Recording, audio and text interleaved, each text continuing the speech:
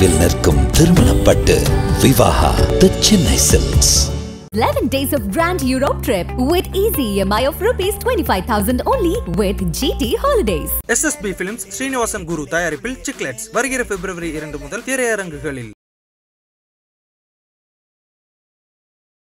மாற்று மதத்தினர் அல்லது நம்பிக்கை இல்லாதவர் பழனி கோயிலுக்குள்ள போகக்கூடாது அப்படிங்கிறது தீர்ப்பா? குடிமரத்தை தாண்டி யாரும் உள்ளார போகக்கூடாது. அப்படின்னு அந்த கோயில் அமைப்புல இருக்குதா?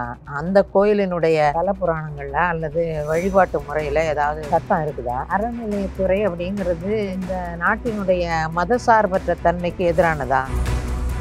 நுழைவு விதி அறநிலையத்துறை விதிமுறைகள்ல இருந்தா கூட அது பழனி போன்ற சித்தர் பெருமக்களால் உருவாக்கப்பட்ட கோயிலுக்கு செல்லுபடி ஆகாது. அங்க ஆகமமும் கிடையாது. இந்த அரசியல் சட்டங்கள் எல்லாம் இங்க செல்லுபடி ஆகாது. தமிழ்நாட்டுல உள்ள அறநிலையத்துறையினுடைய பெயரையே இந்து சமய அறநிலையத்துறைங்கிறத எடுக்கணும். அறநிலையத்துறைன்னு ஒய். அல்லது தமிழ் வழிபாட்டு அறநிலையத்துறைன்னு ஒய். இங்க எதுக்கு இந்து சமயம்னு இந்த தமிழ்நாட்டுல எதுக்கு அது? நீங்க சொல்றதே தான் வந்து இப்போ பாஜக சார்பில் வந்து சொல்லிட்டு இருக்காங்க தமிழ்நாட்டுல நாங்கள் வந்து ஆட்சிக்கு வந்தால் தமிழ்நாட்டுல வந்து இந்து சமய அறநிலைத்துறையே இருக்காது. அந்த துறையை வந்து எடுத்துருவோம். துறையெல்லாம் எடுக்க முடியாது. அதை விட மாட்டோம். இந்து சமயம்ங்கிற பேரை எடுத்துருவோம். அவங்க துறையே வேணான்றாங்க. அவங்க துறையே வேணாம்னா அவங்களுக்கு அவங்க சம்பாதிச்சு சாப்பிட்றதுக்கு அவங்க கேட்குறாங்க ஸ்ரீரங்கம் கோயில்ல இந்த துலுக்க நாச்சியார்னு ஒரு சந்நிதியே இருக்கு. இப்ப என்ன பண்ண போறாங்க? இப்ப இந்து சமய அறநிலைத்துறை அதை ஏன் எடுக்கல இது வரலாம் அப்போ இவங்க நினைச்சா இப்படி ஒரு சட்டம் அப்படி ஒரு சட்டம் அப்படி எல்லாம் வச்சுக்குவாங்களா? தவறு இல்லையா இறை நம்பிக்கை இல்லாத ஒருத்தர் கோயிலுக்கு வேணா போறதுக்கு ஆசைப்படுறாரு. நம்பிக்கை இல்லை. அவர் போலாமா? கூடாது இறை நம்பிக்கை இல்லாதவர்களுக்கு அங்க வேலை இல்லை. போகக்கூடாதுன்றீங்க அப்போ?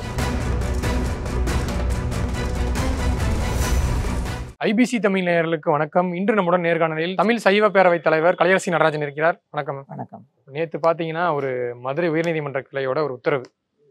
பழனி தண்டாயுதபாணி கோயிலுக்குள்ள வந்து இந்துக்கள் அல்லாதோர் அந்த கொடிமரத்தை தாண்டி போகக்கூடாது. மாற்று மதத்தை சார்ந்தவர்கள். அவங்க போகிற மாதிரி இருந்தால் மீறி போகிற மாதிரி இருந்தால் அங்கே வந்து ஒரு குறிப்பேடு இருக்கும். அதில் வந்து எனக்கு வந்து இறை நம்பிக்கை இருக்குன்னு சொல்லிட்டு எழுதி வச்சுட்டு தான் போகணும். இறை நம்பிக்கை இல்லாதவங்களும் போகக்கூடாது. அந்த மாதிரி வந்து ஒரு தீர்ப்பை வந்து நேற்று கொடுத்துருக்காங்க. அந்த தீர்ப்பை அடுத்து பல சர்ச்சைகள் எழுது என்னன்னா ஏன் வந்து மாற்று மதத்தினர் வந்து போகக்கூடாது கோயிலுக்குள்ள? எல்லாருமே போகிறதுக்கு தானே கோயில்? அப்படின்னு சொல்லிட்டு ஒரு கேள்வியை முன்வைக்கிறாங்க. ஸோ அதை நீங்கள் எப்படிமா பார்க்குறீங்க இந்த தீர்ப்பை? மாற்று மதத்தினர் அல்லது நம்பிக்கை இல்லாதவர் பழனி கோயிலுக்குள்ள போகக்கூடாது அப்படிங்கிறது தீர்ப்பா? குடிமரத்தை தாண்டி யாரும் உள்ளார போகக்கூடாது. அப்படின்னு அந்த கோயில் அமைப்பில் இருக்குதா? அந்த கோயிலினுடைய தல புராணங்கள்ல அல்லது வழிபாட்டு முறையில் ஏதாவது சட்டம் இருக்குதா?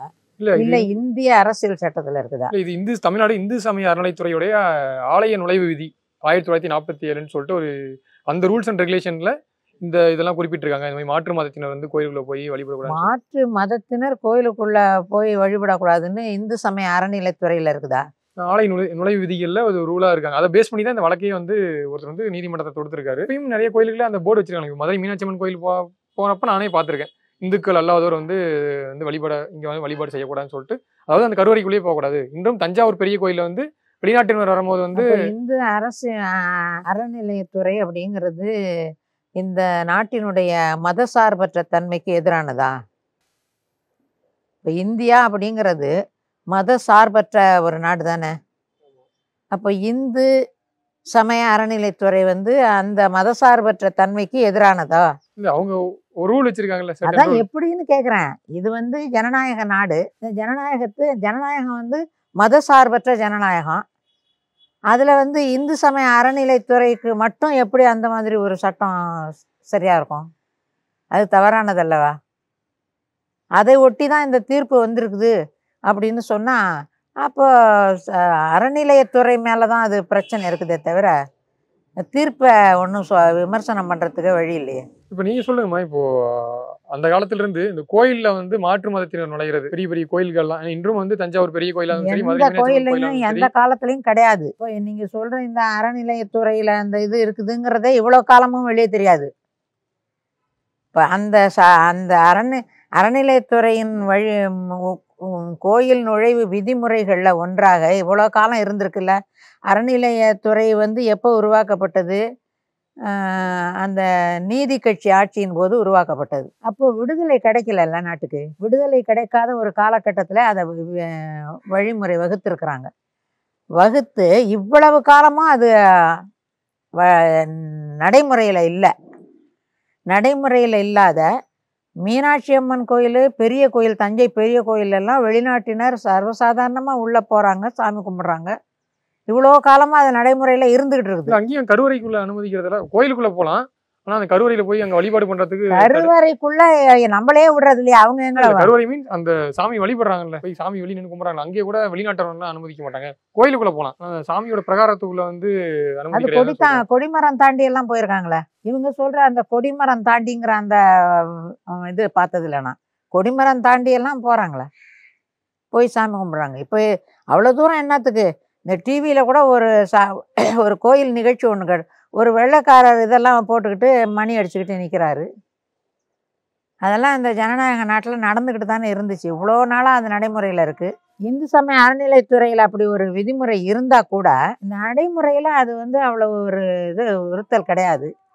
இப்போ இந்த பத்து வருஷ காலத்துக்குள்ளே தான் எல்லாத்தையும் தோண்டி துருபிடிச்சி என்னென்னவோ பண்ணி இது இந்து நாடு இது இந்து சமயம் இது இது ரெண்டாவது இந்த நுழைவு விதி அறநிலையத்துறை ச விதிமுறைகளில் இருந்தால் கூட அது பழனி போன்ற சித்தர் பெருமக்களால் உருவாக்கப்பட்ட கோயிலுக்கு செல்லுபடி ஆகாது.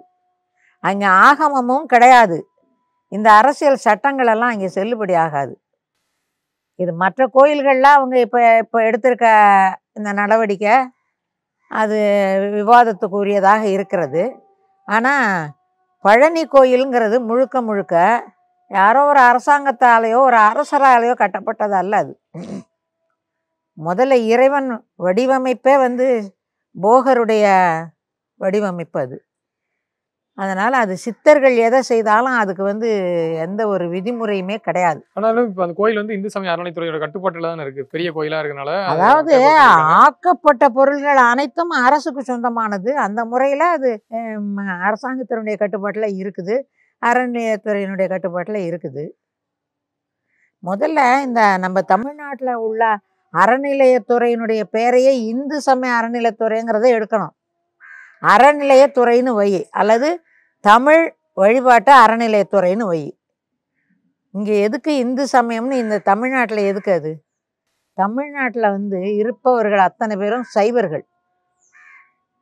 இந்த இந்து அப்படிங்கிற மதமெல்லாம் உருவாகிறதுக்கு முன்னாலேயே உருவாக்கப்பட்ட கோயில்கள் இதெல்லாம். தமிழ்- தமிழ்நாட்டில் இருக்கிற அத்தனை கோயில்களும் இந்துக்கள் வந்த பிறகு இந்துக்கள் கட்டின கோயில் அல்ல. இந்துங்கிற ஒரு வார்த்தை வரத்துக்கு முன்னாலேயே நம்முடைய சைவ அரசர்களால் கட்டப்பட்டது. சைவ மக்களால் கட்டப்பட்டது.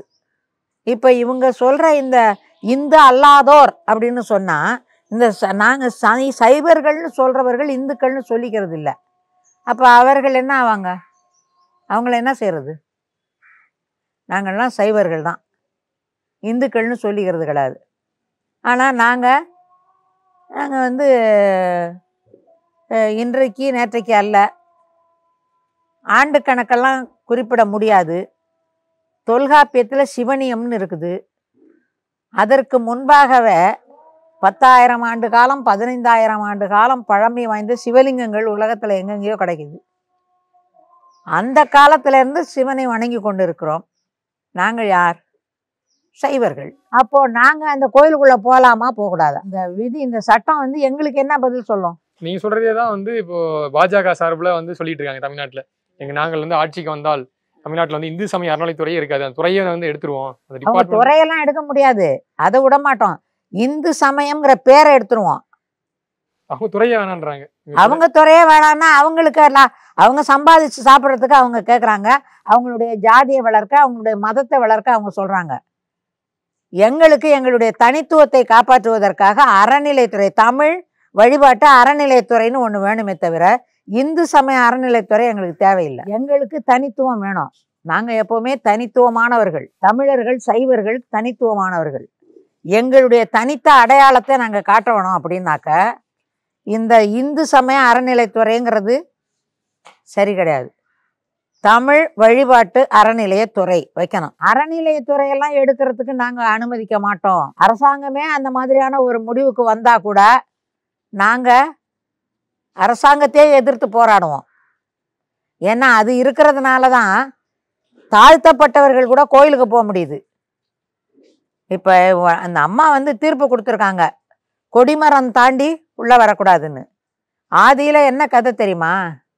இந்த ஆரியர்கள் ஆரியர்கள் என்கின்ற பிராமணர்கள் சைவ கோயில்களுக்குள் கொடிமரம் தாண்டி உள்ளே வரக்கூடாது. தீட்சிதர்கள் எல்லாம் கொடிமரம் தாண்டி சிதம்பரம் கோயிலுக்குள்ளே போகக்கூடாதுங்கிறது தான் விதிமுறை. அதையெல்லாம் யார் இவங்களுக்கு இவங்களை கேட்கறதுக்கு ஆள் இல்லை. இப்போ இந்த சட்டம் கொண்டு வந்திருக்காங்க. இந்த சட்டம் அமலுக்கு வந்திருக்குது அப்படின்னா இந்த சட்டத்தை உருவாக்கும் போதே தவறாகத்தான் இது உருவாக்கப்பட்டிருக்கிறது. எதை ஒட்டிங்க வந்து சட்டத்தை உருவாக்கியிருப்பாங்கன்னு நினைக்கிறீங்க? ஏன்னா வந்து இப்போ மாதிரி வந்ததுக்கு அப்புறம் தான் வந்து எல்லா சாதியினரும் உள்ளார போறாங்க. இப்போ அனைத்து சாதியினரும் அர்ச்சகராகலாம்னு சொல்லிட்டு அந்த ஒரு சட்டம் வந்திருக்கு. ஆனா நீங்க சொன்ன மாதிரி இந்த அடிப்படையிலேயே வந்து சட்டமே தவறா உருவாக்கப்பட்டிருக்குன்னா உருவாக்கப்பட்டிருக்கிறது. அப்ப எதை ஒட்டி அது போகக்கூடாது? அதாவது சட்டத்தை உருவாக்கும் போது அதுல நான் ரெண்டு ஆரியன் இருந்திருப்பான். உள்ளர போனா அசுத்தப்பட்டு போயிருன்னு சொல்லி இவங்க அதுல ரெண்டு ஆரியன் உள்ள இருந்திருப்பான். ஸ்ரீரங்கம் கோயில்ல இந்த துலுக்க நாச்சியார்னு ஒரு சந்நிதியே இருக்கு. இப்ப என்ன பண்ண போறாங்க? அதை என்ன பண்ணுவாங்க? இப்ப இந்து சமய அறநிலைத்துறை அதை ஏன் எடுக்கல இது வரலாம் என்ன இது? அப்போ இவங்க நினைச்சா இப்படி ஒரு சட்டம் அப்படி ஒரு சட்டம் அப்படியெல்லாம் வச்சுக்குவாங்களா? தவறு இல்லையா அதோட ஒட்டி இன்னொன்னு என்ன வச்சிருக்காங்கன்னா இந்த மாதிரி இறை நம்பிக்கை இல்லாதவங்க வந்து கோயிலுக்குள்ள வந்து வழிபாடு அனுமதி கிடையாது. அப்படியே எழுதி இல்லாதவன் கோயிலுக்கு எதுக்கு ஏன் வர போறான் இறை நம்பிக்கை இல்ல அப்படின்னா கோயிலுக்கு எதுக்கு வர போறாங்க சில பேர் போவாங்களேமா அட்லீஸ்ட் இப்ப இருக்க ஜென்ரேஷன் வந்து கடவுள் வந்து நீங்க சொல்ற ரொம்ப இந்த வழிபாட்டு முறைகள்லாம் தீவிரமா கடைபிடிப்பா இருப்பாங்க. ஆனா அவங்க கோயிலுக்கு போனா ஒரு மன நிம்மதி. இப்ப என்னெல்லாம் பாத்துட்டீங்கன்னா எனக்கு வந்து இறை நம்பிக்கைன்றது வந்து இந்த சில பழக்க வழக்கங்கள் எனக்கு பிடிக்காது. ஆனா நான் ரெகுலரா கோயிலுக்கு போவேன். ஏன்னா கோயிலுக்கு கோயிலுக்கு போனா நமக்கு ஒரு அதாவது. சடங்குகள் பிடிக்காம இருக்கலாம். ஆனா இறை நம்பிக்கை இல்லாம நீ போகலையா? நம்பிக்கையோட தானே போற? இப்ப இவங்க சொல்றது நம்பிக்கை இல்லாமல் போவங்கிட்ட எழுதி வாங்கு. என்ன புது இதெல்லாம் இதெல்லாம் இது ஜனநாயக நாடா? இது என்ன நாடு இது? இந்த இறை நம்பிக்கை இல்லாத ஒரு கோயிலுக்கு ஆனா போறதுக்கு ஆசைப்படுறாரு. நம்பிக்கை இல்லை. நீங்க சொல்ற மாதிரி உள்- சும்மா உள்ளார போயிட்டு வரணும்னு ஆசைப்படுறாரு. அவர் போலாமா கூடாதா? இறை நம்பிக்கை இல்லாதவர்களுக்கு அங்க வேலை இல்லை. போக கூடாதுன்றீங்களா அப்போ? ஆ தேவையில்லையே. போகக்கூடாதுன்னு வன்முறையா சொல்லல. அவர்கள் எதுக்கு போறாங்க? இறை நம்பிக்கை இல்லாதவர்கள் கோயிலுக்குள்ள எதுக்கு போகணும்? கட்டிட கோயில்னு பாட்டி அதை தாண்டி இறை நம்பிக்கையை தாண்டி ஒரு கலை இருக்கு கட்டடக்கலை இருக்கு. ஒரு என்னதான் நடக்குது உள்ளன்னு இல்ல, தெரிஞ்சுக்கிறதுக்காச்சும் அது அதை நான் ஏற்றுக்கொள்ள மாட்டேன். இறை நம்பிக்கை இல்லாதவர்கள் இந்த கோயில்ல போய் இந்த கட்டட கலையெல்லாம் ஆராய்ச்சி பண்றதுக்கு அதெல்லாம் அனுமதி கிடையாது. கோயில் என்பது புனிதமானது. அதுக்குள்ளே ஆராய்ச்சி எல்லாம் போய் பண்ணிக்கிட்டு இருக்க வேண்டியதில்லை. ஆனால் கோயில் நம்பிக்கை இல்லாதவர்கள் எழுதி கொடுத்துட்டு போனால் என்ன அர்த்தம்? ஏன் நீ அனுமதியே இல்லைன்னு சொல்லிடு. கோயில் நம்பிக்கை இல்லாத தெய்வ நம்பிக்கை இல்லாதவர்கள் கோயிலுக்குள்ள போய் ஆராய்ச்சி பண்ணிக்கிட்டு இருந்தா அதுல எவ்வளோ விவகாரங்கள் ஏற்படும்? அது நாளைக்கு ஒரு பெரிய பிரச்சனை தான். அதனால அது தேவையில்லை. அந்த ஒரு நிலைப்பாடு நான் ஆதரிக்கிறேன். நம்பிக்கை இல்லாதவர்கள் வர வேண்டாம். இப்போ வள்ளலார் இருக்காரு. புலால் அருந்துபவர்கள் சத்திய ஞான சபைக்குள்ள வரக்கூடாதுன்னு சொல்லியிருக்காரு. அவ்வளோதான் நேர்மையா இருக்குல்ல? இல்ல புலால் அருந்துட்டு குளிச்சுட்டு போ அப்படின்னா அது தப்பு. வரக்கூடாது. வரக்கூடாது. புலால் அருந்துபவர்கள் சத்தியஞான சபைக்குள்ள வரக்கூடாது. வள்ளலார் நேர்மையா சொல்லியிருக்காரு. அது மாதிரி நீங்க சொல்லிடுங்க பக்தி இல்லாதவர்கள் நம்பிக்கை இல்லாதவர்கள் கோயிலுக்கு வர வேண்டாம். கோயிலுக்குள்ள வர வேண்டாம். எனக்கு இங்க இடத்துல ஒரு சந்தேகங்கம்மா. வந்து கோயிலுக்கு போனா குளிச்சுட்டு போகணுமாங்க. அப்படி இல்லைன்னா நீங்க குளிக்காம அவசரமா போறீங்களா? வெளியே போயிட்டு அந்த பைப்ல வந்து தண்ணி கை கால் முகம் அழுமிட்டு போகணுமாங்க. இல்லைன்னா வந்து நீங்க அசைவம் சாப்பிட்றீங்கன்னா நீங்க வந்து கோயிலுக்குள்ள வந்து நுழையக்கூடாது. குளிக்காம நுழையக்கூடாதுன்னு சொல்லி ரெண்டு விதிகள் இருக்கு. இது ரெண்டை பத்தி என்ன நினைக்கிறீங்க? குளிக்காம கோயிலுக்குள்ள போலாமா அசைவம் சாப்பிட்டு ஒருத்தர் வந்து கோயிலுக்குள்ள போலாமா போகக்கூடாது. போகக்கூடாது. அதெல்லாம் அனுமதிக்க முடியாது. அதாவது கோயிலுங்க நான் மீண்டும் சொல்றேன் கோயிலுங்கிறது புனிதமானது. அதனாலதான் மாட்டு மதத்தினர் வரக்கூடாதுன்னு ஒரு சட்டம் இருக்கு. மாற்று மதத்தினர் அப்படின்னா அவங்க வந்து நம்பிக்கையோட விருப்பத்தோட இறை இப்ப முருகன் அப்படின்னு சொன்ன உடனே மாற்று மதத்தினர் சிலர் கண்ணீர் வடிக்கிறாங்க அப்படியே பார்க்கறதுக்கு அவங்க அந்த புலாலெல்லாம் அருந்திட்டு உள்ள வர்றது அதெல்லாம் கிடையாது. நாம எப்படி இருக்கிறோமோ அது மாதிரி அவங்க இருந்து வராங்க. அவர்களையெல்லாம் நான் தடுக்கக்கூடாது நம்ம. உண்மையான பக்தி மாற்று மதத்தினருக்கு இருக்கு. முருகர் மேலே இருக்குது சிவன் மேலே இருக்குது. அதனால் ஒரே அடியாக மாற்று நான் என்ன சொல்கிறேன் நீ சொல்கிற இந்துக்களுக்குள்ளே எவ்வளோ அசிங்கம் இருக்குது அசுத்தம் இருக்குது. கொலை பண்ணிட்டு கோயிலுக்குள்ளே போகிறான் கற்பழிச்சிட்டு கோயிலுக்குள்ளே போகிறான் நீ என்ன அடையாளம் கண்ட? இந்து எல்லாமே பரிசுத்தமானவனா? இல்லை இல்லை மாற்று மதத்தினர் புலால் அருந்துவார்கள் சரியாக குளிக்க மாட்டாங்க அதனால் கோயிலுக்குள்ளே போ ஆனால் இந்துன்னு சொல்றவன்ல எவ்வளோ பேர் கொடியவன் இருக்கான். கொடியவனுக்கு கூடாரமாக கோயில் இருக்குது. ஒன்றும் இல்லை வடநாட்டில் ஒரு சில ஆண்டுகள் முன்னால் ஒரு நிகழ்ச்சி நடந்தது. ஒரு காளி கோயில். எட்டு வயது இஸ்லாமிய குழந்தை அங்கே வச்சு தான் அத்தனை பேர் கற்பழிச்சு கொள்கிறான் அவன் என்ன சொல்கிறான் அது இந்து கோயில் அதுக்குள்ளே முஸ்லீம் குழந்தைய கொண்டு போயிருக்க மாட்டாங்கன்னு நான் நினச்சேங்க. இந்து இப்படி பண்ணுறான்ல இந்து எப்படியாப்பட்ட வேலை பண்ணிட்டான்? அவன்லாம் கோயிலுக்குள்ளே போகிறான் கோயிலுக்குள்ளே போய் இப்படியாப்பட்ட வேலை பண்ணியிருக்கான். உன் சட்டம் அங்க என்ன பண்ணுச்சு? இந்த இடத்துல ஒரு புதுசா ஒன்று சொல்றாங்க. நம்ம ஆகம விதிகள்னு ஒண்ணு சொல்றாங்க. ஒவ்வொரு கோயிலுக்கு ஆகம விதிகள் இருக்கு. அதை வந்து மீறக்கூடாதுன்ட்டு. நீங்க இந்த ஆகம விதிகள்லாம் என்ன? இது ஒவ்வொரு கோயிலுக்கும் மாறுபடுமா? இது என்ன- இதை பேஸ் பண்ணி உருவாக்கி கண்டிப்பா. ஆகமம்னு இவங்க எல்லா கோயில்லையும் சொல்லி சொல்லி ஏமாத்துவாங்க. முருகர் கோயிலுக்கு பழனிக்கு ஆகமம் கிடையாது. அது சித்தர்களால் உருவாக்கப்பட்ட கோயில். அதுக்கு ஆகமம் கிடையாது. மற்ற கோயில்களுக்கெல்லாம் ஆகமம் என்பது அந்தந்த காலகட்டத்தில் செய்யக்கூடிய நிகழ்ச்சிகளை பொறுத்து தான் ஆகமம் அமைஞ்சிருக்கு. இது நான் சொல்லலை. ஆகமத்தை வந்து முழுக்க முழுக்க ஆராய்ச்சி பண்ணிட்டு நீதிபதி ஏ. கே. ராஜன் இந்த நூலை எழுதியிருக்காரு. ரொம்ப விரிவான மறுப்பே சொல்ல முடியாத அளவுக்கு எழுதியிருக்காரு. இதில் ஆகமம் என்பது சிவபெருமானால் சொல்லப்பட்டது அப்படின்னு சொல்கிறாங்க ஆனால் சிவபெருமானால் சொல்லப்பட்ட ஆகமம் எந்த கோயிலில் இருக்குன்னா தெரியாது. நான் ஒரு கோயில் கட்டி இப்போ நடைமுறையில் வச்சுருக்கேன். கண்ணப்பாளையம்னு ஒரு கிராமம். அந்த கிராமத்தில் ஒரு கோயில் கட்டியிருக்கேன் தமிழ்ச்சைவ பெருமான் திருக்கோயில்னு பேர். எல்லா மதத்தினரும் முன்னேற வரலாம்ல? அப்படிதான் சுத்தமாக இருந்தால் வரலாம். பக்தியோடு இருந்தால் வரலாம். அதில் ஒன்றும் இது ச- இது கிடையாது. அவங்க சுத்தமாக இருக்காங்கங்கிறத அவங்க மனசாட்சிக்கு தெரியணும். பக்தியாக இருக்காங்கங்களா அவங்க மனசாட்சிக்கு தெரியணும். இறை நம்பிக்கையோடு இருக்கிறவங்க எங்கே வேணால் வரலாம். சுத்தமாக இருந்தால் புலால் இருந்தாமல் இருந்தால் வரலாம். அவ்வளோதான் நான் வந்து ஜாதி அதெல்லாம் எனக்கு கிடையாது. மதமும் எங்களுக்கு கிடையாது. ஆனால் சில விதிமுறைகள் கருவறைக்குள்ளே போகிறதுக்கு சில விதிமுறைகள் நான் வச்சுருக்கேன். அதில் முக்கியமானது என்ன அப்படின்னாக்க புலால் அருந்துவது தான் என்னுடைய முக்கியமான குறிக்கோள். புலால் அருந்தக்கூடாது. அருந்துபவர்கள் கருவறைக்குள்ளே போகக்கூடாது. இதுதான் நான் வச்சுருக்க இது. இது நான் வகுத்த ஆகமம். இப்படித்தான் ஒவ்வொரு கோயிலையும் உருவாக்குகிற போது மனிதர்களே வகுத்தது தான் இந்த ஆகமம் எல்லாம். அதான் இந்த கோயிலுக்கு ஒரு ஆகமம் அந்த கோயிலுக்கு ஒரு ஆகமம் அப்படின்னு எல்லாம் இருக்குது. இந்த புத்தகத்தில் இதை அவர் ரொம்ப தெளிவாக எழுதியிருக்காரு. மற்றபடி சிவபெருமான் வந்து எல்லாத்தையும் ஒரே மாதிரி சொல்லியும் வைக்கல. அதை யாரும் கடைபிடிக்கவும் இல்லை.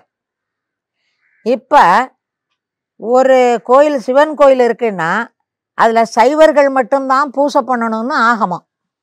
ஆனால் வைணவர்கள் அதில் பூசை பண்ணுறாங்க ஆனால் வைணவ கோயில்ல சைவனை விடுறதில்ல. இன்னைக்கு தமிழ்நாட்டுல நடந்துட்டு தான் இருக்கு அப்படி. இன்னைக்கும் நடக்குது நாளைக்கும் நடக்கும். ஏன்னா இவன் பரம்பரையா அதை பிடிச்சிக்கிட்டு விட மாட்டான். புரியுதா? கனக சபை ஆமா அதேதான். மாதிரி அப்படி இருக்கும்போது ஆகமம் எங்க பேசுது?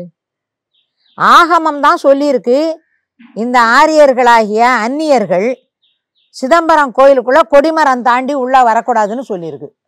இப்போ இந்த ஆரியர்களாகிய தீட்சிதர்கள் முழுக்க முழுக்க அந்த கோயிலை பிடிச்சிக்கிட்டு விட மாட்டேங்கிறாங்க அப்போ எங்க போச்சு ஆகமம்? என்ன ஆகமம் எங்க ஆகம நடைமுறையில் இருக்குது? எங்கேயாவது ஒரு கோயில்லாம் ஆகம விதிப்படி பூசை நடக்குதா? கிடையாது. அந்தந்த கோயில் அந்தந்த காலகட்டத்தில் அது அதுக்கு தகுந்த மாதிரி பூசை முறைகளை வகுத்துக்கிட்டு அதான் ஆகமம். எந்த கோயிலுக்கும் பொதுவான ஆகம விதின்னு எதுவுமே கிடையாது இல்லைங்களா? இருக்கு யாரும் கடைபிடிக்கிறது இல்ல. என்னெல்லாம் இருக்குங்க அப்படி? அந்த அந்த கொடிமரத்துல இருந்து நந்தியம்பெருமான் வைக்கிறதுல இருந்து பலிபீடம் வைக்கிறதுல இருந்து பூசை முறைகள் என்னென்ன காலகட்டத்தில் காலகட்டத்துல இன்னென்ன பூசை என்னென்ன அபிஷேகம் இன்னென்ன உணவு படைத்தல் இது எல்லாமே ஆகமத்துக்குள்ள சொல்லப்பட்டிருக்கு. அதெல்லாம் ஒன்றும் கிடையாது இப்போ. ஒரு வருஷத்துல வந்து நானூறுக்கு மேல விழா நடக்குது திருப்பதியில. அங்க ஏதாவது ஆகமம் இருக்குதானா ஒன்றும் கிடையாது. திருப்பதியில எல்லாம் ஒரு ஆகமமும் கிடையாது. இப்போ ராமர் கோயில் கட்டியிருக்காங்க. கொடிமரம் இல்லை. கொடிமரம் இல்லாத ஒரு கோயில் கட்டக்கூடாது இருக்கக்கூடாதுன்னு இருக்கு. அப்போ அங்கே ஆகமம் இல்லை. ஆனா அவங்களும் என்னமோ ஆகமத்தை பற்றி பேசுறாங்க. என்ன ஆகமம்னு எனக்கு தெரியல. ஆக இவர்கள் நினைத்தால் எது வேணா சொல்லுவாங்க. முருகன் வந்து காட்டுக்கு எதுக்கு போனாரு? வள்ளியை பார்க்க வந்து காட்டுக்கு போகும்போது எதுக்கு போனாரு? வேட்டைக்கு. என்ன வேட்டைக்கு போனாரு? மான் வேட்டைக்கு தானே போயிருப்பாரு. இப்போ மான் வேட்டை எதுக்கு? கறி சமைச்சு சாப்பிட்றதுக்கு தானே. முருகர் வந்து முருகர் தன்னுடைய அவதாரம் யாருன்னு அவருக்கு தெரியும். அவதாரம்ங்கிறது த அவருக்கு தெரியும். ராமருக்கு வந்து தான் ஒரு அவதாரம்னே தெரியாது. நினைவில் நிற்கும் திருமணப்பட்டு Vivaha the Chennai silks 11 days of grand Europe trip with easy EMI of rupees 25,000 only with GT Holidays. SSB Films Srinivasan Guru தயாரிப்பில் சிக்லெட்ஸ் வருகிற பிப்ரவரி இரண்டு முதல் திரையரங்குகளில்